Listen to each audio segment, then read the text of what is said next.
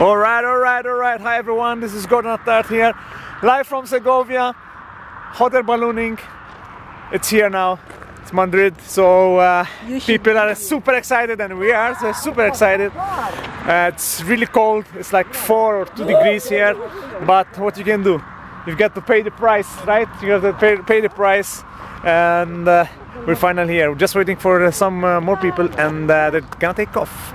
So this is one of the excursions that you can do. Take care. Bye.